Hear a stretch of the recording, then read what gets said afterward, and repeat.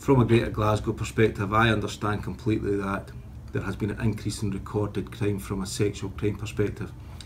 And I anticipate that a large proportion is due to people being confident and coming forward and reporting crimes of a sexual nature.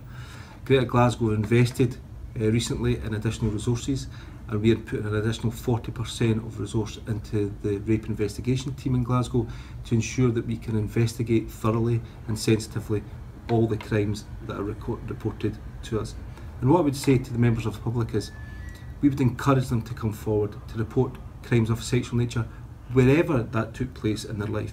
And if they don't feel confident to come to Police Scotland, there's other pathways through Rape Crisis in which they can provide an initial account and get support to then engage further with the police service.